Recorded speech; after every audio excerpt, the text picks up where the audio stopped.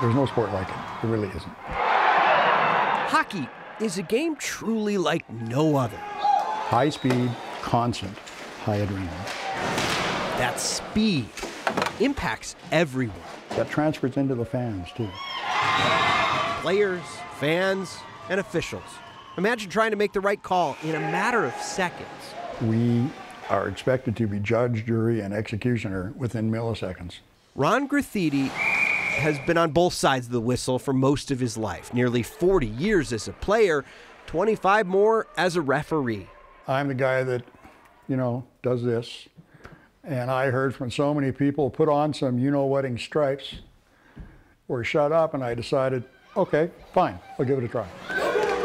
In his quarter century wearing those stripes, plenty of people have run their mouths to him.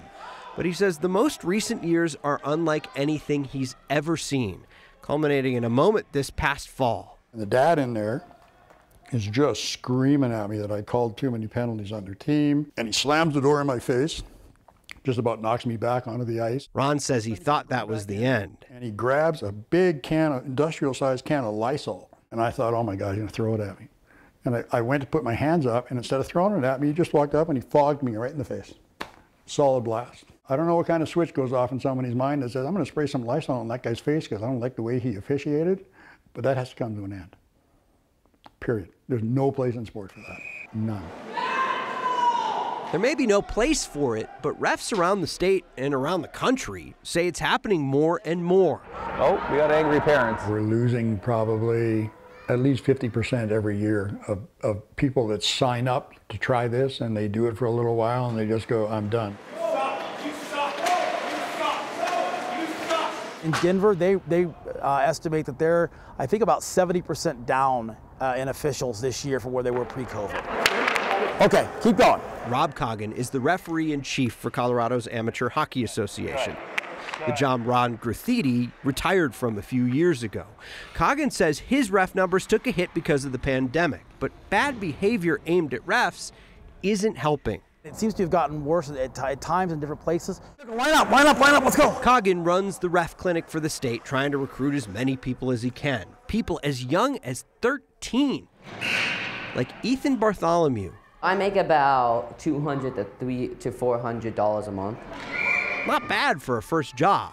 It's still big for a kid my age. But at 13 years old, a couple of games in, Ethan already had his first run in with a mouthy parent. I gave her a warning, and then right when I turned around, she started chirping at us again, and then I threw her out. I don't like it, but I can understand why they did it, but I, I still don't like it. Ethan, Rob, and Ron will all tell you these parent problems are the outliers. Hello, There are a lot of good people in the stands. They're just to enjoy the game, root for their kids. But the bad ones are loud enough to scare a lot of refs away.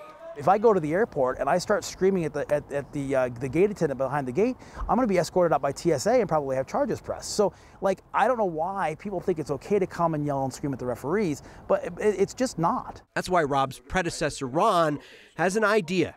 If a parent acts up, create consequences for the kids. We should be able to assess a minor penalty on the offending team. And their captain would go sit in the box for a couple of minutes. Because consequences lead to conversation. You're going to have to explain to your son or daughter when you're driving home, well, you lost that game because I cost you a penalty. And that conversation might help a parent refocus. This is about your children. You put your children into a sport to teach them sportsmanship, to teach them trust in teammates, to, to give them the opportunity to grow as athletes and to grow as people and to form friendships that last forever. Don't destroy it. Don't act like an idiot. It's not your game.